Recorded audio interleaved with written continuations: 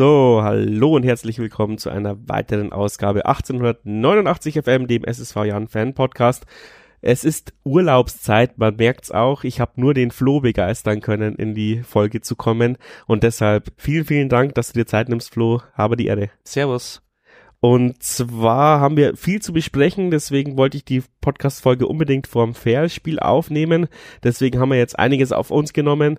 Ähm, heute sind spontan Kumpels vorbeigekommen, deswegen habe ich schon äh, Biergarten, halbe Intus. Also bitte verzeiht's mir, wenn ich ein bisschen zu sehr stammtischmäßig unterwegs bin, aber ich habe schon ordentlich getankt. Es ist auch 22 und 19. so spät haben wir noch nie aufgenommen, glaube ich, Flo. Ähm, Nein. Also es wird eine spektakuläre Folge, aber ich finde, wir mussten diesen Zeitpunkt wählen, weil jetzt kommt dann die englische Woche, oder? So ist es. Jetzt steht dann Ferl an am Sonntag, dann steht BVB 2 an und dann äh, geht Schlag auf Schlag. Insofern kommen wir da gar nicht mehr zusammen sonst und jetzt mussten wir mal uns wieder treffen, um die vergangenen äh, Ergebnisse zu besprechen. Und vor allem durch diesen Toto-Pokal äh, war es ja auch äh, vergangene Zeit äh, mit viel ähm, englischen Wochen. Äh, also es gab jetzt schon vier Spiele, seitdem ich mit ähm, Ballas geredet habe, obwohl es eigentlich erst zwei Wochen her ist. Also es war viel geboten, unter anderem eben das Spiel gegen den TSH unter Bleichfeld, dann der, der, der Ligaauftakt gegen Unterhaching, dann wieder Toto-Pokal Langweit, also zwei Runden innerhalb von zwei Wochen und jetzt eben leider das DFB-Pokal aus gegen Magdeburg. Ich möchte jetzt erstmal noch nicht so krass auf diese Spiele eingehen, ähm, sondern eher dein Gefühl, wie hast du die Mannschaft jetzt äh, gefühlt äh, erlebt die letzten Augustwochen? Ja, sehr gute Frage. Äh, es ist äh, ja ein komplett neu formiertes Team und äh, deswegen sind wir alle ganz gespannt gewesen. Und mein, positiv, mein Gefühl ist sehr positiv. Ähm, also ich finde, es ist ein auf die kurze, auf die Kürze der Zeit ziemlich gut zusammengewachsenes Team. Ähm, spontane Eindrücke waren einfach, dass jeder für den jeden einsteht, dass jeder für den jeden kämpft, dass die Stimmung gut ist, dass zwar noch nicht alle Abläufe funktionieren, aber äh, es macht Spaß, den Jungs zuzuschauen und ich glaube auch, dass das jeder bestätigen kann, äh, der jetzt bei Unterhaching oder bei Magdeburg im Stadion war, ähm, dass die Stimmung auch von den Rängen gut war, weil die Jungs zeigen, dass es äh, annehmen, dass weiß, wissen, worum es geht. Dass noch nicht alles funktioniert, ist klar. Darauf kommen wir bestimmt noch mal äh, später zu sprechen. Aber einfach gefühlsmäßig finde ich es gut. Ähm, ich bin zwar jetzt nicht nah dran gewesen, muss ich sagen. Ich habe ein Testspiel gesehen, ich habe äh, das Spiel gegen Unterhaching gesehen. Aber für mich äh, kann ich da jetzt erstmal ein ganz bescheiden positives Fazit ziehen. Ja, ich bin eher der, der gemischt dazwischen ist. Also ich finde natürlich ähm, dafür, dass es so eine zusammengewürfelte Mannschaft ist, ähm, kann man schon zufrieden sein. Aber die letzten zwei Spiele ähm, ja, haben, haben so ein bisschen meine Euphorie gebremst. Ich möchte jetzt auch nicht der Euphoriebremser sein, sondern ich würde halt sagen, ähm, schauen wir uns die nächste englische Woche noch an, ähm, weil dann wären, glaube ich, ähm, dann sind es drei Spiele weiter. Dann haben wir quasi eigentlich schon äh, sieben Spiele, die wir so mal bewerten können. Deswegen finde ich diese Folge hier auch extrem schwierig zu gehen, weil ähm, ich würde gern wirklich draufhauen und ähm, viel, viel Salz in die Wunde streuen. Aber ich weiß natürlich auch, dass es total Banane ist, zu dieser, zu diesem Zeitpunkt schon ähm, ja die, die Kritikkeule zu schwingen. Und trotzdem würde ich sie gerne schwingen wollen, aber bitte ordnet es ein, das ist keine ähm, vernichtende Kritik, ich möchte auch nicht die Euphorie bremsen, weil ich glaube, um das vor, vorwegzunehmen, dass wir gegen Ferl und gegen Dortmund gut aussehen werden. Ähm, und dann sieht die Welt schon wieder komplett anders ja. aus. Wenn es nicht so, wenn es nicht so ist, dann werde ich dann so äh, Ende August ähm, den Untergang einläuten. Ja, Robert, für dich zählt nur gewinnen, gewinnen, gewinnen und wenn du nicht gewinnst, ist natürlich alles schlecht, ja. In, äh, insofern kannst du voll ganz zurecht hier den Bad Cop spielen, ich spiele derweil den Good Cop. Aber ähm, können wir uns ja dann noch austauschen. Ich bin halt wirklich ein unfassbar schlechter Gewinn, äh, Verlierer und ähm, dieses Magdeburg-Spiel hat mir schon wieder so ein bisschen das Graut ausgeschüttet, weil das, da war, also das, da war alles drin zu gewinnen und ähm, wir verdödeln es wieder selbst mit unserem, ja, ich weiß es nicht, mit unserer naiven Spielweise, die auch für den Abstieg gesorgt hat. Und das sorgt mich halt gleich am eineinhalbsten Spieltag ähm, total. Ähm, und ich sage ja immer, keine Ahnung, ich will mich nicht noch in die Regionalliga schunkeln. Deswegen bin ich dieses Jahr, glaube ich, ein bisschen kritischer als die letzten Jahre. Du hast also Angst, dass wir die Kontinuitäten, obwohl wir quasi alle Leute ausgetauscht haben, äh, weiter vorhanden sind. Ja, es gibt Doch ja irgendwas also es Magisches. Gibt, es gibt, nee, nee, aber es gibt doch immer so Vereinsgene und ich finde, Grad setzt sich so ein bisschen fest, dieses äh, hinten ein, in ein, zwei Aktionen unachtsam sein und die Gegentore fangen, obwohl du äh, sonst in, in, weiß ich nicht, 88 Minuten super gut stehst und echt äh, deine Positionen hältst, ähm, taktisch versiert, äh, defensiv agierst, aber dann diese zwei Blackouts zu zwei Toren führen, obwohl und, und während wir dann vorne zehn Chancen brauchen, um ein Tor zu machen. Und das macht mir Sorge, weil so sind wir halt auch irgendwie abgestiegen ähm, und haben uns das ein Jahr lang schön geredet und haben gesagt, ja, aber Spiel, der, der, der Spielansatz ist ja gut. Der Spielansatz ist jetzt auch phänomenal gut, aber die Ergebnisse sind halt gerade nicht phänomenal gut und natürlich weiß ich, ähm,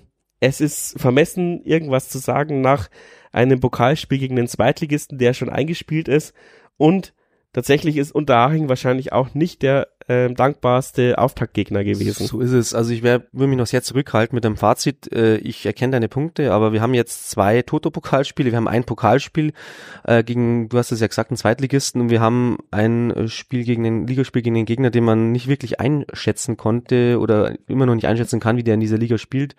Und Daching hat ja jetzt im Pokal gegen ähm, Augsburg äh, überrascht. Äh, sozusagen sind wir besser als Augsburg, ja, weil wir nicht verloren haben gegen die. Also wirklich unberechenbar. Aber wir haben gegen Augsburg verloren. Ja, in, aber Testspiele zählen natürlich nichts. aber es stimmt, wir hatten in der Vorbereitung ja auch gegen Augsburg verloren. Nee, aber äh, so blöd es klingt, gebt den Jungs noch bisschen Zeit. Äh, die haben sich gefunden, ähm, noch nicht voll und ganz gefunden. Die haben sich halt jetzt seit sechs, sieben, acht Wochen jetzt kennengelernt. Dafür finde ich hat schon sehr viel funktioniert. Ich sehe die Fehler auch. Also die Gegentore beim Unterhaching, das Gegentor beim Unterhaching-Spiel und die gegen Magdeburg, das sind natürlich, darf, dürfen nicht mehr so oft passieren in der Liga zumindest. Ähm, können wir uns jetzt noch bisschen schönreden, weil wir haben einen großen Kampf gegen einen äh, Zweitligisten, einen sehr guten Zweitligisten, wie ich finde, weil Magdeburg spielt attraktiven Fußball und wird in der Saison auch nichts mit dem Abstieg zu tun haben, meiner Meinung nach. Können wir uns schon ein bisschen schönreden, aber irgendwie wissen wir trotzdem noch nicht, wo genau wo die Jungs stehen und das wissen die Jungs vielleicht auch selber noch nicht. Also insofern würde ich jetzt mal abwarten gegen Ferl und gegen Dortmund. Ähm, das sind natürlich jetzt auch so zwei Stationen, wo man sich auch wieder blamieren kann, ja ähm, vielleicht sogar werden, ich weiß es nicht, äh, bin schon sehr Ich gespannt. hoffe nicht, weil ähm, gegen Dortmund kommentiere ich und gegen Bielefeld auch, also wenn wir in dieser englischen Woche äh, null Punkte holen, dann wirst du den Rage Robert wieder rausholen. Nee, und äh, klar, äh, wenn man das jetzt so sagen darf, wenn, wenn diese englische Woche vorbei ist und wir haben nicht einen Sieg geholt, dann wird's äh, ungemütlich, ja, dann haben wir unsere Ziele, die wir irgendwo schon haben, ich sage jetzt mal, vielleicht obere Tabellenhälfte irgendwo. Sorry, also wenn ich, vielleicht bin ich jetzt manchmal schon wieder zu ambitioniert, aber das haben wir irgendwo, glaube ich, schon so im Hinterkopf, das könnten wir schon erreichen und das wäre dann schon wieder gefährdet, wenn man die Spiele dann, wenn man da jetzt kein, kein Dreier irgendwo holt, für die Psyche auch einfach und für die, für die Seelenlage. Aber wir schauen ja schon wieder zu wieder auf die Zukunft. Kurze Werbeunterbrechung für unseren treuen Kooperationspartner Rebest Fitness Club in Regensburg. Wer fit werden will und zum Beispiel ein Jahn-Trikot braucht mit einem äh, Wunschvlog, vielleicht habt ihr ja zum Beispiel schon ein Schwarz-Trikot gekauft und braucht jetzt ein neues, ähm, dann meldet euch doch beim Rebest Fitness Club an und mit dem Codewort 1889FM beziehungsweise Jahn Podcast erhaltet ihr ähm, einen günstigeren Tarif ein Jahn-Trikot mit Wunschvlog und 50 Euro Gutschein für den Fanshop. Also nichts wie hin zum Rebest Fitness Club. Ihr könnt das auch austesten, ähm, einfach dort anrufen, einen Termin vereinbaren, unverbindlich und dann geht's ab. Wie ihr den Rebest Fitness Club erreicht, seht ihr in den Show Notes oder auf 1889 FM unter der aktuellen Folge. Weiter geht's deswegen sage ich ja, diese, diese Folge ist brutal schwer, weil du kannst eigentlich noch nichts sagen, aber äh, wir müssen jetzt trotzdem irgendwie drüber quatschen. Äh, was ich was sich ja herauskristallisiert hat, ist, dass wir jetzt ein 4-2-3-1 offensichtlich ähm, priorisieren, obwohl ich sagen würde, in der Vorbereitung hat es eher nach Doppelspitze ausgesehen.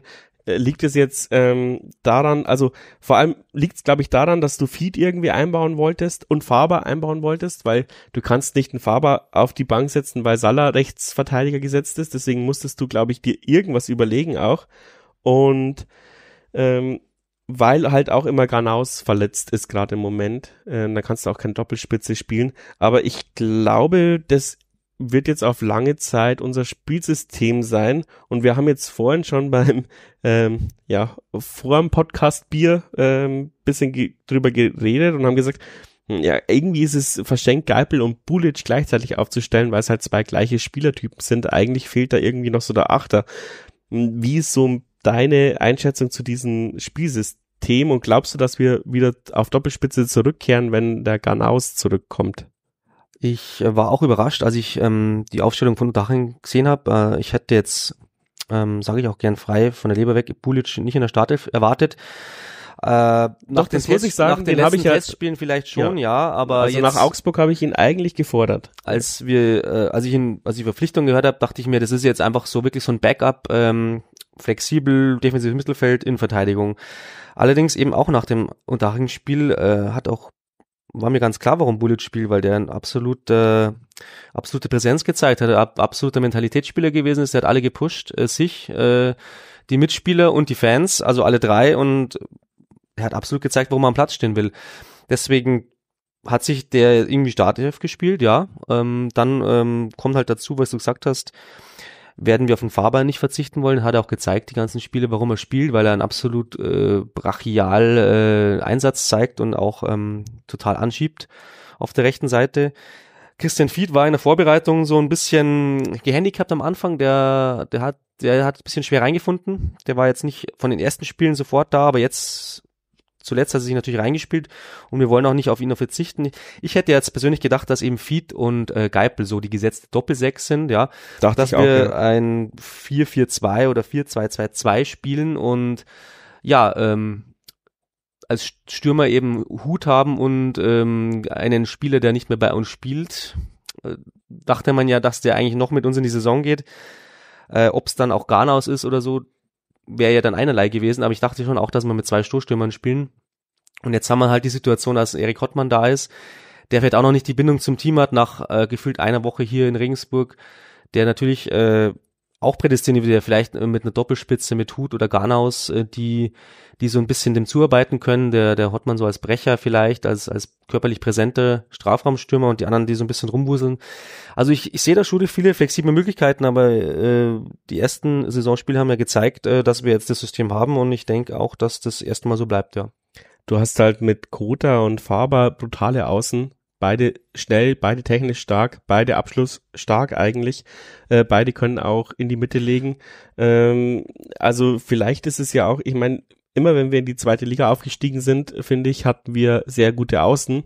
Ähm, ist vielleicht auch so ein bisschen so ein Vorzeichen Zeichen für diese Saison, dass äh, mit Kota und Faber, wenn sie sich nicht verletzen, ähm, du wirklich vor allem über die Dyn- Dynamik, über die Außen, die dritte Liga so ein bisschen ähm, ja dominieren kannst, weil äh, ich glaube halt, es ist halt schwer zu verteidigen, gute, Au äh, gute Außen zu verteidigen ist, glaube ich, ja, das kann nicht jeder auf dem Niveau. Absolut, du hast ja auch gesehen, äh, wie viel Spaß es macht, wenn du im Stadion bist und es werden sich Chancen rausgespielt. Das hatten wir jetzt in der Zwei zweiten Jahre Liga nicht. nicht. so oft. äh, man muss es ja wirklich sagen und das macht einfach Bock, ja. Das einzige Problem, äh, wo ich jetzt auch schon einhaken würde, ist, du brauchst dann in der Mitte einen, der es mal verwertet. Und Elias Huth hat noch nicht das Erfolgserlebnis gehabt, äh, in der Liga zumindest und im Pokal jetzt auch nicht, obwohl er die Chancen hatte, ja, also da erinnere ich mich schon, äh, Magdeburg die große Chance, Otaching hatte auch mal eine gute Gelegenheit. Der muss einfach äh, zeigen, dass er ein Torjäger ist und wenn er es nicht ist, dann ist es vielleicht ein Hotmann und äh, sonst müssen wir dann nur noch hoffen, dass vielleicht Garnaus explodiert. Also wir brauchen, was ich sagen wollte, wir brauchen halt jemanden, der die Chancen auch verwertet, ja. Was mir bei Hut ein bisschen aufgefallen ist, ist, dass er halt diese Übersicht und Kaltstolzigkeit nicht hat, weil zum Beispiel bei dieser Eckballsituation als Stürmer musst du wissen, wo der Torwart steht, bevor du schießt, bevor du an den Ball kommst. Das heißt, er muss eigentlich wissen, der Torwart ist da in der, in der, im linken Eck, deswegen zwirbel ich ihn ins rechte Eck ein. Ich weiß jetzt nicht, bei welchem Pokalspiel ich es gesehen habe, aber irgend, irgendeiner von, von den Pokalspielen hat es einfach perfekt hinbekommen. Der stand vom Torwart und wusste, der steht eher halb links, deswegen zwirbel ich ihn rechts rein. Und das fehlt äh, das fehlt Elias Huth total. Der schießt eigentlich, also der versucht halt immer mit voller Gewacht, Gemacht irgendwie aufs Tor zu schießen, in der Hoffnung, dass da der Torwart nicht steht. Aber du musst halt vorher schon ähm, ausgespäht haben, bevor du am Ball kommst, wo steht der Torwart und auf welchem Fuß steht er gerade. Und das fehlt ihm noch total. Und ich finde, diese Leichtigkeit hatte eben Ganaus, vor allem in diesem Unterbleichfeldspiel, wo, wo er einfach im Bedrängnis gegen zwei Leute den Ball ins lange Eck lupft. Äh, ich weiß nicht, ob er das in der dritten Liga auch schafft unter mehr Bedrängnis, aber sowas wünsche ich mir halt. Und ich weiß nicht, ob es dann langt, nur den Knoten zu platzen, weil das ist so eine grundlegende taktische Eigenschaft von einem Spieler, ob er es hat oder nicht.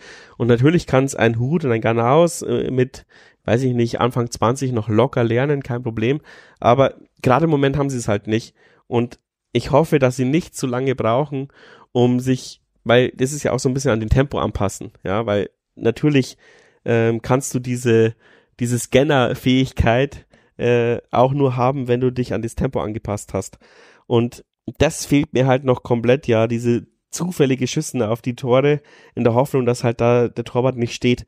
Das kann manchmal gut gehen, aber als Stürmer musst du eigentlich, wie gesagt, wissen, ähm, bevor du schießt, in welches Eck du dieses Ding haben also möchtest. Kleine Stürmerkunde mit Robert, äh, Gerd Müller, incoming. Na, bei Gerd Müller war es ja immer so, der war ja meistens äh, mit dem Rücken zum Tor gestanden und deswegen wusste der Torwart gar nicht, in welches Eck er quasi eigentlich dann schießt. Also er hat immer diese verdeckten Schüsse gemacht. Das ist ja die heutige Spielweise gar nicht mehr. Außer Mario Gomez hat es, glaube ich, noch so gemacht. Ähm, Nochmal zurück zu Hut. Ähm, das hat auch den Jungs von Jan Block äh, gesagt. Schöne Grüße an der Stelle. Äh, er braucht eigentlich immer einen zweiten Stürmer neben sich. Das hat er immer am liebsten gespielt. Das hat er auch äh, in Zwickau gespielt unter Joe Enox, als er eine sehr, sehr gute Saison hatte vor ein paar Jahren.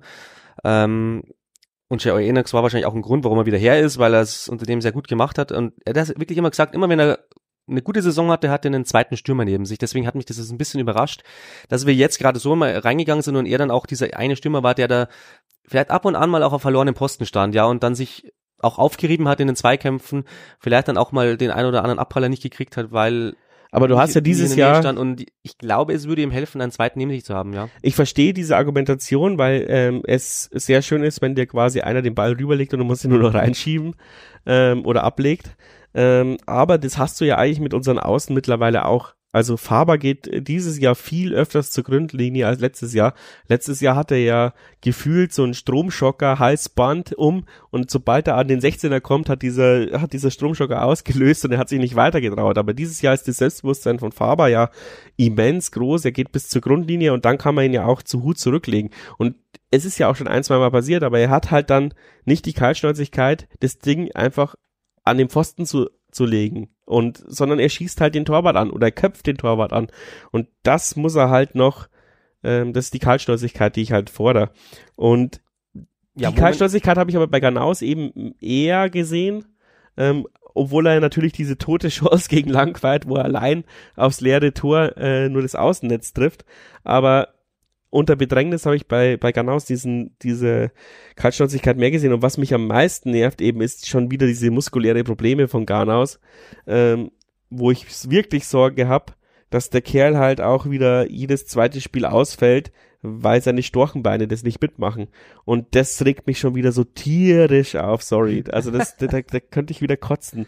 Wenn ich, wenn ich, wenn, als ich am, gegen Magdeburg schon wieder gesehen habe, oh, Ganaus verletzt dich im Kader, und vorher ist er schon mit, äh, mit ähm, ja, Verband rumgelaufen, weil er einen Pferdekuss bekommen hat. Also, also das nervt mich schon wirklich äh, immens. Das ist natürlich auch ein bisschen ungerecht. Er kann auch nichts für seine Verletzung, aber äh, klar, äh, die, die, die tollen Sachen, womit er uns total neugierig gemacht hat äh, unter, unter Bleichfeld, ähm, klar, es war natürlich eine Amateurmannschaft, aber trotzdem, also einfach die Qualitäten, die er da aufblitzen lässt oder auch in, in den Testspielen, die kann er halt leider jetzt noch nicht zeigen. Ja, wir, wir sind schon, werden total neugierig und ich fand auch in Unterhaching, da ist er zwar nur eingewechselt worden, äh, Mitte äh, der zweiten Halbzeit, aber da hat er auch ein paar tolle Ansätze gezeigt, weil er einfach super schnell ist. Der ist einmal einem davon gelaufen, äh, muss natürlich dann auch schauen, dass er zum Abschluss kommt, aber er hat echt, finde ich, und er kann uns wirklich Freude machen, die Saison. Ähm, wünsche ihm, dass er sich hoffentlich bald wieder einfindet. Also ich hoffe, es ist nur was Muskuläres und es wächst wieder zusammen, weil der ist ja sehr jung und da wächst schon wieder alles. Ja, so ganz habe ich es jetzt auch nicht rausgefunden, was es überhaupt ist. Aber ähm, ja, du hast schon recht. Und vor allem haben wir ja muskuläre Probleme in den letzten Jahren immer dann doch ganz gut unter Kontrolle bekommen. Deswegen hoffe ich, äh, dass er dann spätestens nach der Länderspielpause äh, durchstarten kann. Wäre natürlich auch wichtig, weil ich finde, ähm, sonst hast du da vorne, du hast da vorne zwar echt extrem viele Optionen, aber halt nicht im, im oberen High-Class-Segment und ich würde schon sagen, dass Kanaus schon, ähm, ja, mit der beste von den Stürmern ist, den wir haben. Was wir halt schon dringend brauchen und da muss sich halt einfach einer auch entpuppen als, als Torjäger. Ja, wir brauchen schon einen, der, der jetzt diese Saison zweistellig trifft. Ähm, sonst haben wir keine so schöne Saison oder zumindest keine angenehme, erfolgreiche Saison, sondern wenn wir einen haben, der, der die Chancen auch zuverlässig macht und wir, dass wir sie rausspielen können, wissen wir ja jetzt nach den ersten äh, Pflichtspielen, aber es muss sich halt auch einmal einer verwerten, ja. Ich habe mich beim Modaring-Spiel schon ein oder andere Mal ertappt, äh, dass ähm, äh, wenn ein Journal Schwarz mitgespielt hätte, hätte er vielleicht einen gemacht. Ich weiß es nicht von diesen Chancen. Also die, vielleicht äh, hochgradig spekuli spekulativ, aber ja, dafür sind wir ja auch hier. Der Grüttner-Typ fehlt, aber ich finde, dieses Jahr haben wir wieder so eine Mannschaft, wo vielleicht ähm, auch das offensive Mittelfeld jeder sieben bis acht Tore beiträgt und es gar nicht so auffällt, dass du halt nicht den krassen Knipser hast. Also ich kann mir nicht vorstellen, dass einer von unseren Stürmer dieses Jahr mehr als 20 Tore schießt. Also das ist äh, Das meinte ich nicht. Also 10 würden mir schon genügen, 10, zweistellig. Okay, ja. Also ist ja fast schon bescheiden, aber so einen brauchen wir bei 38 Spielen und wer da nicht mal zweistellig trifft, einer von unseren Stürmern, das ist dann schon schwierig, ja. Ja, das stimmt. Also, also, na klar, als, ich finde, als Stürmer in 38 Spielen 10 Tore, das ist, das musst du auch schaffen, nur durch Eckbälle. Sorry. Jetzt laden wir aber Druck auf hier, ne? Ja, ja aber das ist halt auch der Druck, den, den wir so ein bisschen haben. Ähm, obwohl es eine sehr junge Mannschaft ist, wo ich halt immer Sorge habe, ist, dass wenn die zünden, werden die uns unfassbar viel Spaß bereiten, aber wenn wir es schaffen, in irgendeinen so Negativstrudel zu bekommen, wie gesagt, jetzt auch in der englischen Woche und im Oktober habe ich gesehen, haben wir, glaube ich, sechs Spiele innerhalb von einem Monat. Ähm, da darfst du halt wirklich nicht in so ein drei Spieltage verloren hintereinander Negativstuhl kommen, weil da kommen wir nicht mehr raus mit diesen Zwölfjährigen, wie ich immer sage. Es kommt auch wieder ein Oskar Schönfelder zurück, der ja auch die Vorbereitung wieder ausgesetzt hat. Ich halte auch sehr viel auf ihn. Vielleicht kann uns der auch nochmal die ein oder anderen Bausteine liefern. Der, der ist ja vor allem sehr flexibel einsetzbar. Der kann links vorne spielen, also dem traue ich auch viel zu und ich hoffe, dass er auch, dass er jetzt das zu seiner Saison macht, ja. Du hast jetzt sehr oft ähm, unser, unsere Stürmergeschichte angesprochen. Die Causa Zwarz haben wir eigentlich nicht großartig besprochen. Das letzte Mal habe ich halt eben mit äh, Ballas gefragt, wie es der Mannschaft damit geht. Und die haben gesagt, die stehen zu ihm und so. Also die haben wahrscheinlich auch gedacht, äh, diese familiäre Geschichte ist übel.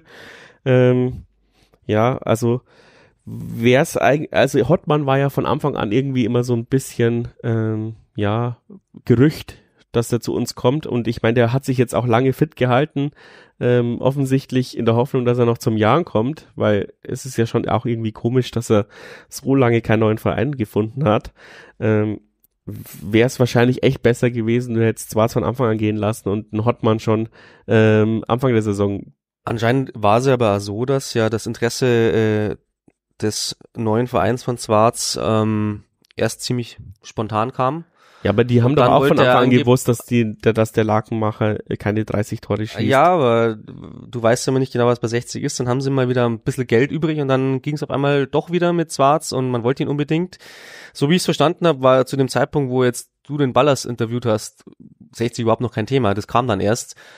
Und äh, muss man dann halt auch die Charakterfrage stellen bei den Spielern, ja, ähm, offensichtlich wollte er immer weg, äh, war seine Priorität und es musste nur der beste Verein kommen, der nächstbeste. Und wenn es so ist, dann muss man sich eigentlich fragen, warum nicht früher, ja. Äh, wenn es jetzt so gelaufen ist, ist für alle Beteiligten nicht optimal und wirft auch kein gutes Licht, finde ich, auf äh, den Spieler selber. Aber wichtig ist, um das jetzt sozusagen positiv abzurunden, dass diese Sache auch geklärt ist. Die Frage ist, kann Hottmann ihn jetzt eins zu eins ersetzen? Dazu habe ich eigentlich auch Zwarz viel zu selten wirklich in voller Aktion gelebt, äh, erlebt, weil er ja auch äh, manchmal Spiele hatte, finde ich, wo er nicht so viel Bock hatte. Und ähm, Hottmann ist vielleicht ein anderer Spielertyp, aber ich glaube schon, dass Hottmann auf jeden Fall die, die 1B-Lösung war. Äh, 1A wäre vielleicht gewesen, Schwarz bleibt, ja. Aber Hottmann war, es war schon auffällig, dass der dann 24 Stunden nach dem Abgang äh, zu uns kam. Also das war schon der, der quasi die Planstelle sofort im, im wahrscheinlich im Managementplan auch besetzt hat, ja. Und dann ähm, haben wir zugegriffen muss man auch äh, Bayer Lorzer und allen Beteiligten eigentlich irgendwie gratulieren, dass sie dass sie ähm, ja sogar vor dem ähm, Langweitspiel schon eine Lösung präsentiert haben und Hottmann ja auch gleich eingewechselt worden ist und ähm, Tor und eine Vorlage gemacht hat. Ähm, ja, seine Statistik liest sich nicht phänomenal. Er hat halt mal dritte Liga gespielt und hat ungefähr eine Torquote von einem Innenverteidiger gehabt. Aber ich meine, ähm, dann hat er ja gemerkt, dass er noch einen Schritt zurückgehen muss und in der Regionalliga hat er ja dann eine ordentliche Quote. Ich habe es jetzt nicht ausgedruckt, ich weiß es nicht, so um die äh, 18 Tore, glaube ich, und paar Vorlagen, irgend sowas. Äh, aber nagelt mich jetzt nicht drauf fest. Ja, aber auf jeden Fall der Top-Torjäger von äh, Cottbus und zweistellig war es war es schon. Klar, äh, aber unsere Neuzugänge haben auch so ein gewisses Profil. Die haben alle zumindest ein kleines Dellchen in der Karriere schon gehabt, auch wenn die alle total jung sind, aber die haben auch alle irgendwie mal Saisons drin gehabt, wo sie nicht so toll waren und die müssen sich jetzt auch mal beweisen, ja. Und äh, ich glaube, man kann das schon mit Fug und Recht von fast oder von allen Spielern sagen, sie sind hungrig, ja, die wollen irgendwie was in der dritten Liga reißen. Sei es die, die aus der zweiten Liga abgestiegen sind, sei es die, die jetzt neu dazugekommen sind aus der Regionalliga. Und ähm, das zählt letztendlich für mich. Und das ist das Wichtigste. Deswegen bin ich da jetzt guter Dinge, dass sich äh, Hottmann auch gut einlebt und ähm, ja, uns auch die hoffende Verstärkung sein kann auf wen ich mich ja so ein bisschen eingeschossen habe in letzter Zeit, war leider äh, mein Interviewpartner Ballas, ähm, weil und auch Bitroff eigentlich, weil uns wurde ja gesagt, wir haben das Konzept quasi, die Innenverteidigung soll ein Bollwerk sein mit erfahrenen Spielern und äh, der Rest mit Säulen aufgefüllt, aber der Rest ist halt dann junge Spieler. Und ähm, ich würde sagen, stand jetzt nach zwei Toto-Pokalspielen, ein Magdeburg-Spiel, ein Unterhaching-Spiel und die Vorbereitungsspiele ähm, geht es nicht auf. Also wir haben keine Erfahrung in der Innenverteidigung. Sie fühlen sich komplett unabgesprochen an. Äh, sie fühlen sich an, als würden sie die unerfahrensten Leute auf dem Platz sein. Ähm, das, da, da passieren noch zu viele Anfängerfehler. Also diese, also diese Taktik ist für mich gescheitert, was nicht heißt, dass ich diese Spieler abschreiben möchte.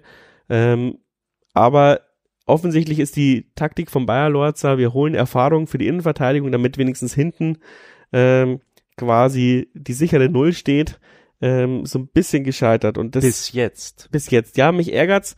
Und ich hab, und ich glaube auch, dass Ballas bestimmt, wenn er die Spritzigkeit hat, ähm, dieses, diese, dieses Tor zum Beispiel gegen Magdeburg verteidigt. Aber ich habe es ihm ja auch so ein bisschen durch die Blume gesagt, hey, sprech dich mal mit dem Geipel mehr ab. Und ähm, das war auch die Unterhaching-Geschichte, finde ich. Da konntest du ein, ja, ein Flugzeugträger zwischen den Räumen parken. Und ich weiß bis heute noch nicht, wer richtig schuld an diesem Tor von Unterhaching war, weil da hat ja niemand diesen Zwischenraum besetzt. Also es fehlt mir noch an Abstimmung zwischen Innenverteidigung und unsere Sechsern und die haben ja verhindert, dass wir nicht mit drei Punkten gestartet sind und verhindert, dass wir nicht äh, ja gegen Magdeburg weitergekommen bin, gekommen sind. Auch man muss natürlich auch sagen, dass ähm, natürlich auch die Offensive schuld war, weil in den letzten 15 Minuten hätte man auch noch zwei Tore schießen können. Das wäre auch kein Problem gewesen bei den Chancen. Aber ja, ähm, eine sichere Null oder zumindest maximal ein Tor pro, pro Spiel wäre schon, ähm, ja, ich weiß es nicht. Es, es ärgert mich halt einfach, dass wir da Erfahrung gekauft haben und ich sehe keine Erfahrung. Das Tor gegen Unterhaching ist klar, das ärger total ärgerlich ist. Also das ist wirklich so ein Slapsticks-Tor habe ich schon lange nicht mehr gesehen. Ähm, Sperrangel weit offen, spaziert da wirklich braucht gar nicht Tempo an aufnehmen, der Gegenspieler und kann dann einfach cool abschließen. Äh, das ist klar, das darf nicht passieren und ähm, das mussten wir auch abstellen. Ich bin aber, ich sehe auf das Positive hin, und zwar also Entwicklungspotenzial von den Spielern. Ähm, unter anderem auch diese Statistik jetzt gegen Magdeburg. Sie haben sieben Torschüsse gehabt, Magdeburg, und haben zwei Tore gemacht. Das muss man auch erstmal schaffen, ja. Ähm, gegen einen spielstarken Zweitligisten nur sieben Torschüsse zuzulassen. Gut, man kann natürlich sagen, vielleicht wollten sie nicht mehr, aber trotzdem, also das ist ja auch schon mal, so von der Grundarbeit ist es schon gut. Wir müssen jetzt nur diese Aussetzer, die im Übrigen aber nicht immer an der, ähm, du hast es ja schon gesagt, nicht immer an der Innenverteidigung selber liegen, sondern auch an der Abstimmung mit, mit anderen und in Magdeburg muss man halt auch Ballverluste mit einberechnen von dem 1-0. Das war halt einfach auch ein Ballverlust im defensiven Mittelfeld da hängen halt alle mit im Boot und äh, am Ja, nicht am nur das, und du hattest ja auf dem Passgeber auch überhaupt gar keinen Druck. Der konnte ja allein diesen Flip-Pass spielen. Aber das, gut, man muss auch sagen, das war auch gut gemacht. Ja, also das, ist schon, den, den Pass äh, schlägst du auch nur einmal so im Ich finde halt, ja. da schauen halt einfach alle ein bisschen blöd aus. Ähm, ich ich glaube, irgendwie der Ballas hat bei diesen 1-0 äh, gegen Magdeburg hat der gedacht, der Gebhardt hat den Ball und ist deswegen nicht energisch hingegangen quasi zwischen Ball und gegnerischen Spieler und der Geber dachte, der Ballers hat ihn irgendwie, so habe ich das so ein bisschen auch wahrgenommen. Ja, aber, aber jetzt als Torwartperspektive. Als Torwart gehe ich immer davon aus, dass mein Innenverteidiger ihn zumindest so stört, damit er nicht vernünftig zum Abschluss kommt. Deswegen verkürze ich die Ecke, was der Ballers, äh, was der Gebhardt gemacht hat, ähm, und gehe nicht volle Knecke drauf, weil ich war, ich warte halt, dass der, dass mein Innenverteidiger den, den Schussfuß von seinem Stürmer verteidigt, damit ich ihn dann, wenn er ihn halt dann unsauber trifft, noch rausfischen kann. Also ich wäre auch nicht, ich wäre auch nicht durchgezogen, glaube ich, als Torwart. Nee, nee, das wollte ich jetzt gar nicht damit ja. sagen. Aber es schaut halt irgendwie einfach für alle Beteiligten blöd aus und Ballas ist jetzt eben nun zweimal 90 Minuten am Platz äh, gestanden. Ich hoffe, ich täusche mich jetzt da nicht, aber uh, und und war halt dann bei beiden Gegentoren, die so bisschen dumm ausschauen, einfach am Platz. Und ich glaube, es braucht man noch wirklich noch eine Abstimmung. Also wirklich noch fünf, sechs, sieben Spiele. Es kann natürlich sein, dass es uns da auch wieder ein paar Punkte kostet, ja, aber äh, die Jungs, speziell Ballas hat jetzt fast zwei Jahre nicht gespielt, ja, hat wenig Spielpraxis. Ähm, Robin Ziegele ist gerade verletzt, äh, der war ja dann gegen Haching, ist er dann angeschlagen raus. Ähm, Alexander Bittroff auch schon wieder angeschlagen, also das Gesamtkonstrukt ist extrem fragil und ich glaube, das ist das auch, was du meintest, ja. Der stabilste ist ja eigentlich noch der Luis Bräunig, der eigentlich die Sache recht gut gemacht hat, finde ich, äh, als er gespielt hat. Äh, zumindest ist mir jetzt keine Aktion in Erinnerung geblieben, wo er, wo er groß schlecht ausgesehen hatte. Also eigentlich äh, hat mir der noch am, macht er quasi den hoffnungsvollsten Eindruck jetzt von diesen vier Innenverteidigern. Ähm, aber jetzt wirklich mal äh, so wieder quasi schön geredet. Wenn die alle fit sind und wenn die alle sich eingespielt haben, glaube ich, ist das schon eine harmonierende Innenverteidigung. Ist, ähm, ist halt echt eine Frage der Zeit. Ja, und da habe ich halt eben die Sorge, dass äh, wir zu viel Zeit verdödeln und dann in so einen Negativstrudel reinkommen und nicht mehr rauskommen, weil äh, die Mannschaft halt noch so oder, jung und unerfahren ist. Oder lass einfach jemand ausfallen, das kann halt auch immer sein. Ne? Insofern äh, fragil, ja. Ja, äh, was mich so ein bisschen äh, zu dieser Frage, wünschst du dir noch Neuzugänge? Also ich finde halt, wie du schon sagst, also vor allem diese anfänglich jetzt Verletzungsgeschichten, äh, Schönfelder, Ziegele, Garnaus, ich weiß nicht, ja, da, da sind wir zu wenig drin, ob das jetzt einfach daran liegt, dass sie jetzt auf einmal pro, richtig Profibelastung haben und dann halt ihre muskuläre Geschichten passieren. Bei Schönfelder sage ich halt, ähm, es ist schon komisch, dass jemand ständig Bändergeschichten hat und ich weiß es von mir selbst, da kann man nichts machen man hat das halt dann einfach und dann muss dann mal, muss man wieder sechs Monate aus oder sechs Wochen ausfallen.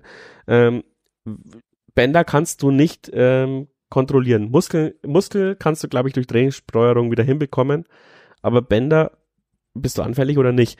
Und das macht mir so ein bisschen Sorge bei unserem 22-Mann-Kader und im Discord haben sie aber gesagt, ja, wir sind einer der wenigen Mannschaften, die halt ein, eine U21 haben, die quasi auf maximalen Niveau ist, die möglich, das möglich ist nach Regularien. Also wir können ja gar nicht die U21 in der Regionalliga haben, äh, wegen dieser einen, einen Liga-Abstandsgeschichte.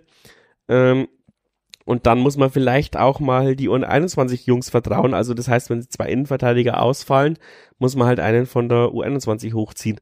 Wir ich weiß ja es nicht. Leopold ich, Wurm eh so halb hochgezogen. Der ist ja eigentlich stimmt ja regelmäßig im Training und ist ja auch im Kader gewesen jetzt zuletzt. Also das wäre schon ein Hoffnungsträger in der Hinsicht. Ähm, ist natürlich schon heftig, dann einen 17-Jährigen in den Ligabetrieb zu werfen, dritte Liga, ähm, der mehr oder weniger dann die A-Jugend schon übersprungen hat jetzt. Also der ist wirklich extrem jung.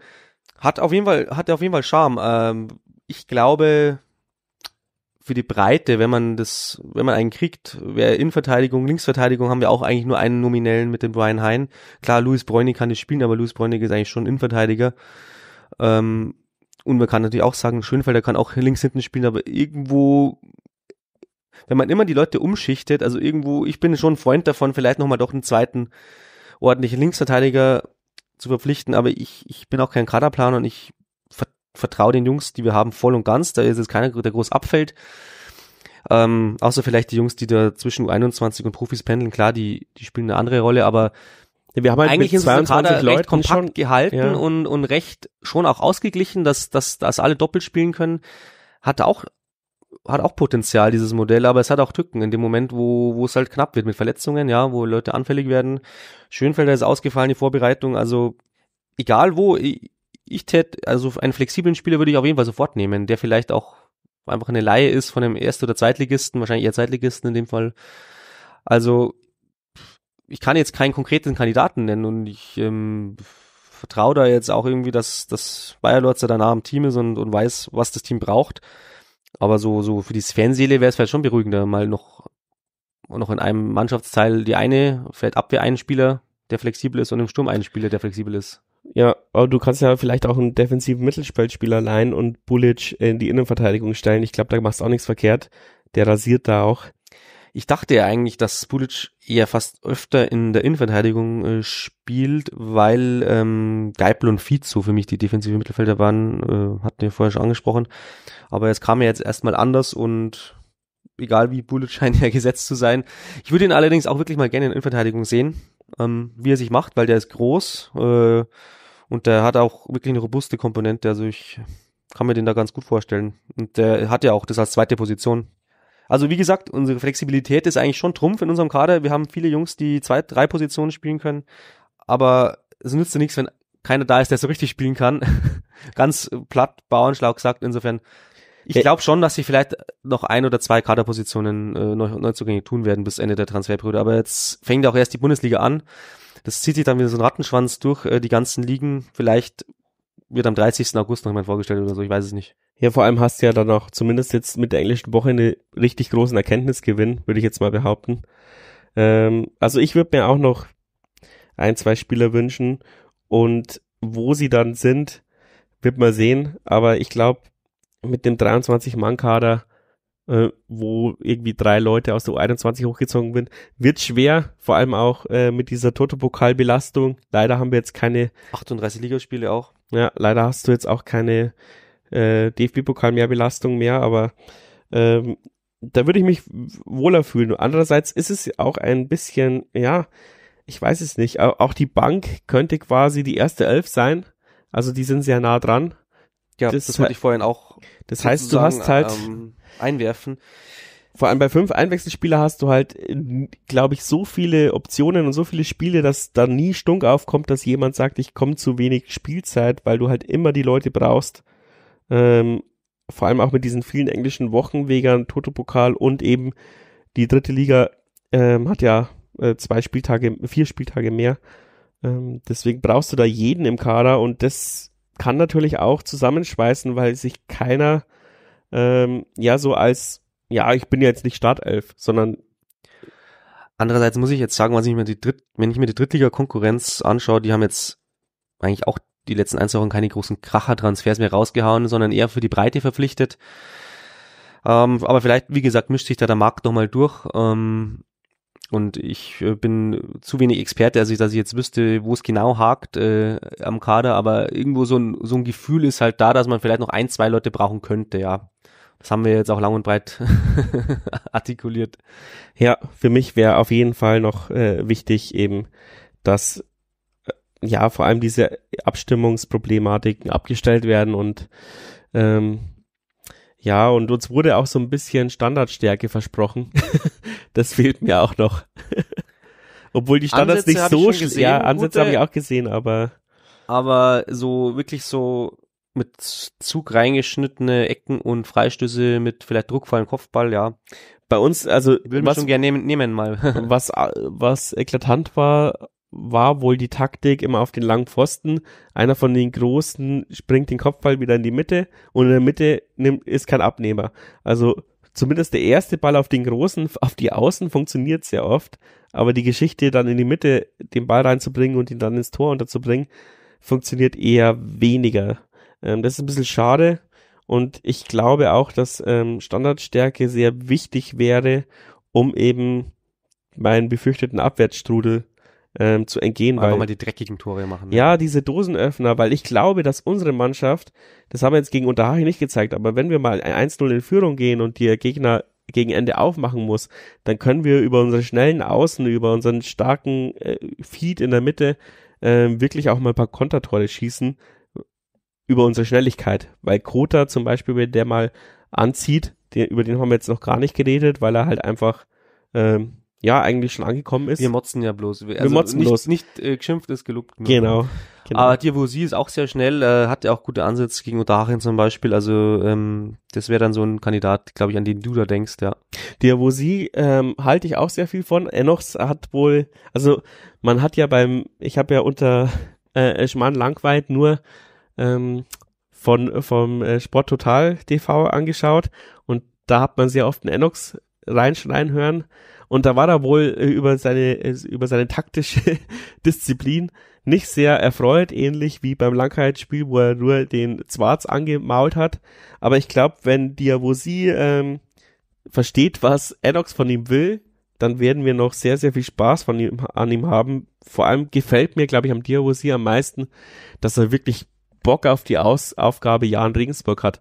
Der, der, der identifiziert sich da voll mit und er weiß auch, dass der Jan ihm eine Chance gibt und die er vielleicht woanders gar nicht erhalten hätte. Und ähm, das ist irgendwie charmant. Ja, da bist du näher dran an ihm. Also äh, wenn es so ist, natürlich super. Äh, hab, hab ich eben, um das ganz, was ich eingangs gesagt habe, nochmal aufzugreifen, habe ich ja fast eigentlich bei jedem, dass, dass alle Bock haben auf die Aufgabe. Und ich hoffe auch, dass keiner abfällt, dass keiner irgendwie ein Loch fällt in, im Laufe der Saison, weil er vielleicht mal nicht so viel spielt. Also den Teamspirit, den muss man schon erhalten, weil der hat auch letzte Saison ein bisschen gefehlt, äh, muss man wohl auch sagen. Ja, ähm, im Discord haben sie auch gesagt, letztes Jahr haben die Spieler wahrscheinlich auch zu viel Angst vor Fehler gehabt. Und deswegen sollen wir hier nicht so drauf einschlagen, weil äh, wer Angst vor Fehler hat. Die hören uns doch eh nicht zu. ja, das stimmt auch wieder. Aber ähm, ja, aber es ist trotzdem immer so, dass ich finde, dieses, diese Schwarmintelligenz im Umfeld des Vereins spiegelt sich trotzdem auch immer irgendwie auf die Spieler über, ob, ob sie es wollen oder nicht. Also wir Menschen haben schon irgendwie so ein Schwarmintelligenz ähm, so ein bisschen philosophisch. Ähm, eine Sache muss ich noch ansprechen, das wurde ich gebeten, nachdem ich aus dem Magdeburg-Spiel rausgegangen bin, hat mich, haben mich wieder Leute erkannt und haben gesagt, hey, coole Arbeit mit 1889 FM und Turmfunk und so weiter. Und ich soll unbedingt ansprechen die Magdeburger Provokation an die Hans-Jakob-Tribüne. Und ich muss sagen, ich, das war echt krass. Ich glaube, ich habe schon lange nicht mehr so viel Hass im Jahnstadion erlebt, äh, wie gegen Magdeburg. Ein bisschen gegen Kolke damals, ähm, aber bei Weitem nicht so schlimm wie jetzt am Ende. Und das hat sich auch auf die Mannschaft übertragen. Ich meine, danach gab es ja nach Abpfiff-Rudelbildung erlebt man bei unserer Mannschaft auch nicht so oft und vor allem auch nicht beim Betreuer und Trainerteam. Und ähm, ja, ich war auch ehrlich gesagt kurze Zeit richtig voller Hass und die Magdeburg-Spieler, ähm, wir haben es jetzt rausbekommen, Lawrence, glaube ich, hat, hat uns provoziert. Ähm, und der Torhüter der Magdeburger hat dann den Ball noch demonstrativ nach dem Abpfiff über Stadiondach geschossen.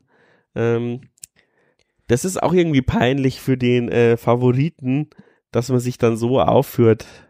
Ja, da muss sagen, also das, also kam dann irgendwie fast aus dem Nichts. Also es ist ja jetzt keine große Vorgeschichte mit, mit den Spielern oder mit Magdeburg, finde ich jetzt. Aber das ist doch toll, wenn sich so im Spiel einfach so eine Atmosphäre entwickelt. Ich meine, das finden doch alle ziemlich geil und deswegen ja, gehen ja alle super. gerne ins Stadion. Die Spieler finden es auch geil. Ich meine, ähm, es wurde ja wirklich explizit sogar die Stimmung gelobt. Ähm, Enox hat ja dann gesagt, man hatte ja sein eigenes Ohr nicht mehr, er äh, Wort nicht mehr verstanden, weil es so laut war. Und das ist doch mega. Also wann hatten wir das mal vom Jahnstadion gehört? Also an sich ja nichts einzuwenden. Ähm, Mai und diese Provokationen, die sind dann im Spiel natürlich schon, äh, als Fan ist man da auf 180, aber jetzt so im Nachhinein finde ich das jetzt, würde ich das gar nicht mehr so an die ganz große Glocke hängen, weil solche Dinge passieren und ich meine auch der Vollert äh, und Haring hat auch einiges abbekommen, äh, was ihm alles zugerufen wurde und Becher geflogen sind, weil er ziemlich viel Zeitspiel gemacht hat, also das passiert halt dann im Spiel und klar, provozieren vor der gegnerischen Tribüne finde ich auch scheiße. Also äh, würde ich äh, auch auf, auf dem Baum sein. Aber so im Großen und Ganzen ist das jetzt eher mit wenig Nachhall verbunden, sondern so im Spiel, mei, geilen wir uns halt alle mega drauf auf, aber war auf jeden Fall. Vielleicht gibt es ja ein Wiedersehen. Man sieht sich immer zweimal, also dann. war auf jeden Fall ein super geiles Pokalerlebnis, finde ich. Es war sehr viel geboten. Wäre natürlich schöner gewesen, wenn wir weitergekommen wären. Ähm, Die Stimmung war phänomenal. Ich kann es jetzt gegen Unterhaching gar nicht sagen, aber witzigerweise finde ich auch geil, dass irgendwie in der Pressekonferenz vorher der Hannes so ein bisschen ähm, Understatement, so ja, so, so, wir hoffen auf 8000 Zuschauer und dann sind es 11.081. Das heißt, ähm, vor allem die Hans-Jakob-Tribüne, ich habe es dann verfolgt an dem Tag, ich musste leider ähm, politisch unterwegs sein. Ähm, wirklich von, von halben Stunde zu halbe Stunde ist dieses, ist dieser Kreis im Fanshop weniger geworden äh, für die Hans Jakob und am Ende war sie dann doch ausverkauft, obwohl sie gefühlt erst zur Hälfte verkauft war, ähm, zwei Stunden vor Ampfiff. Ähm, also Wahnsinn, wie die Leute dann doch noch ins Jahnstadion äh, gestürmt sind. Und bei Magdeburg hat Hannes auch gemeint, ja, wir rechnen mit 8000 Zuschauern und es sind 9464 geworden. Und man muss ja sagen, es fehlen ungefähr die 1000 VIP-Zuschauer, die halt beim DFB-Pokal-Spiel auch nicht ihre ähm, Stammkarten haben und dann natürlich vielleicht äh, berechtigterweise zu geizig sind, nochmal eine eigene Karte zu kaufen. Das heißt, mit VIP wären wir, hätten wir da auch schon wieder die 10.500 geknackt. Ähm, und ich glaube, dass wir nicht mit 10.000er Schnitt rechnen diese Saison. Äh, das heißt, wenn wir diese Euphorie aufrechterhalten, haben wir auch noch einen finanziellen Puffer nächstes Jahr den Kader aufzustocken. Also behalte diese Euphorie bei und ich muss sagen, ich war diesmal auf S3 gestanden wieder und ähm, so gut war die Stimmung auch schon lange nicht mehr auf S3 wie gegen Magdeburg. Es war, hat echt sehr, sehr viel Spaß gemacht. Ja, das ist auch eins der Dinge, die man total herausheben muss von den ersten beiden Spielen. Also die, die Euphorie ist schon zu greifen gewesen und die, die Zuschauerresonanz ist echt gut für dritte Liga. Ähm, ob es sich jetzt über den äh, Herbst hält, äh, bin ich mal gespannt, aber äh, die Leute haben Bock, die Leute sind heiß. Also wie gesagt, man freut sich auf den sogenannten, auf die äh, neuen Jahren, auf die runde neue Mannschaft und ähm, wenn es äh, so wie ist wie Magdeburg, dann ist es echt super. Deswegen müssen wir jetzt äh, ordentliche Ergebnisse hinliefern, damit es so weitergeht. Ähm, deswegen sprechen wir noch ganz kurz über die nächsten drei Spiele. Danach wird es wahrscheinlich wieder einen Podcast geben. Fail, Dortmund 2 und auswärts gegen Bielefeld. Ich sag ja, du musst gegen Fair und Dortmund 2 mindestens vier Punkte holen, damit du eben dieses Bonusspiel gegen Bielefeld hast. Das kann ich nicht einschätzen. Die waren jetzt gegen, im Pokal auch ziemlich gut. Ähm, die haben, glaube ich, mittlerweile verstanden, äh, dass sie sich anstrengen müssen und die dritte Liga vielleicht nicht ihr Anspruch ist und dass sie sich zusammenreißen müssen im, im Gesamten. Deswegen würde ich gerne da quasi mit breiter Brust antreten, damit da alles möglich ist. Und ich finde, wenn du, so blöd sich's anhört, aber wenn du äh, Top 10 anpeilst, musst du gegen Fair gewinnen. Bei Dortmund kann ich es nicht sagen, weil es ist so eine Wundertüte, je nachdem, wer halt da aufläuft. Ähm, aber daheim sollte man schon unentschieden gegen Dortmund anpeilen, wenn man unter die Top 10 möchte, weil im Oktober kommen dann echt ziemlich viele Brocken und bis dahin möchte ich zumindest einen kleinen Puffer haben. Das ist so mein Ding und wie gesagt, wenn wir, keine Ahnung, vier bis sechs Punkte holen aus diesen ähm, drei Spielen, dann können wir auch beim nächsten Podcast viel gechillter über die Dis äh, über die Situation reden. Ja, ich habe ja vorhin schon einen Sieg gefordert aus diesen drei, also da muss sein, egal wo. Ich glaube fast, dass uns Bielefeld fast besser liegt als die anderen beiden Gegner, weil die anderen beiden Gegner sind wir halt eigentlich dann schon Favorit. Hat uns gegen Otaching auch nicht immer äh, so gut getan, habe ich den Eindruck, also weil die einfach ihren cleveren Fußball durchziehen konnten. Insofern mir scheißegal, äh, wo irgendwie was rausspringt, Hauptsache es springen möglichst viel raus. Ähm, Mai, äh, Ferl hatte halt jetzt, haben jetzt, sind jetzt im neuen Stadion oder im neuen Alten sozusagen, also waren jetzt zwei Jahre ja woanders, äh, vielleicht sind sie auch wieder euphorisch. Aber ich hoffe auf jeden Fall, dass wir dem Spiel da unseren Stempel aufrücken können und ähm, rechne mir da schon auch mindestens einen Punkt aus. Ähm, Bielefeld hat jetzt anscheinend wieder Hoffnung geschürt durch den DFB-Pokal. Ich habe gelesen oder gehört von Bielefeld-Fans, dass die auch zum ersten Mal wieder seit eigentlich zwei Jahren wieder so einen so eine magische Nacht hatten, ja, mit mit ihrem Erfolg gegen Bochum. Insofern wird es natürlich schwer da auswärts, aber ich glaube, dass, dass wir bis dahin können die auch noch zweimal verlieren. Gut ausschauen können und vielleicht sind wir auch motiviert. Äh, wir haben ja zwei Ex-Spieler dabei, äh, Schipnowski und Yildirim. Also das wird, glaube ich, ein ganz, ganz gutes Spiel und gegen Dortmund das ist wirklich so eine Wundertüte. Da bin ich auch sehr gespannt, vor allem weil bei uns daheim unter der Woche, ich glaube auch nicht, dass es so viele Zuschauer ziehen wird. Es ist auch noch Sommer, es ist Ferienzeit. Also da bin ich sehr gespannt. Ähm, das ist ein Spiel, das ich überhaupt nicht einschätzen kann. Also so Ferl mindestens ein Punkt, Bielefeld vielleicht eine Überraschung und, und Dortmund ist, I don't know. Das ist ja auch wieder dieses typische, du musst eigentlich gegen Fair gewinnen, weil dann kommen nochmal tausend Leute mehr gegen Dortmund. Wenn du gegen Fair verlierst, dann kommen diese Tageskartenleute nicht. Hat wieder keiner Bock, ne? Ja. ja. Deswegen Gut, ist es auch wirtschaftlich wichtig, gegen Fair zu gewinnen. Ist da Ökonom genug, daran ja. zu denken, ja, ist, ist recht. genau. Ähm, ihr wisst, was zu tun ist. Kommt einfach ins Stadion. Auswärts gegen Ferl, habe ich gehört, ist, ist der ÖPNV am Sonntag ziemlich bescheiden. Schade eigentlich. Ähm, aber so ist es halt. Das ist dritte Liga. Das ist dritte Liga. Da ist Fair quasi schon Dorf, obwohl es im Ruhrpott ist. Es sind alle drei Teams NRW-Teams, auch interessant. Stimmt, ja. Also das NRW-Woche. Äh, NRW-August. Und äh, deswegen, klar, es ist, eins ist zu Hause, aber äh, Ferl und Bielefeld sind auch nicht so weit auseinander. Also da wird es den einen oder anderen äh, Hallo-Effekt geben. Lange nicht gesehen. Ja, und viel Spaß natürlich, wer auswärts fährt in Ferl, die längste Bartheke in einem europäischen Stadion, oder wie war das? In einem deutschen Stadion? Da kenne ich mich nicht genug aus, aber äh, sie haben mit einer langen Theke geworben. Ist ja schon mal nicht verkehrt. Ja, und wenn wir verlieren, dann hauen wir sie zusammen, die Theke.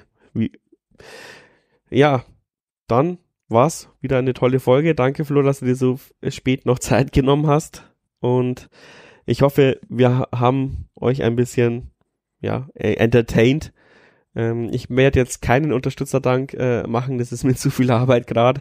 Äh, wichtig war es mir, dass die Folge eben vor dem Feldspiel rauskommt, damit ihr auf dieser langen Fahrt noch was zum Hören habt und ihr wisst, wie ihr uns unterstützen könnt. Ähm, auf 1889fm.de gibt's den Link PayPal-Spende oder ihr kauft zum Beispiel eure Amazon-Einkauf über uns, dann gibt's Provision. Und ja, das finanziert uns dann das Bier und meine Krankenversicherung. Danke Flo nochmal und habe die Ehre. Servus und gute Nacht.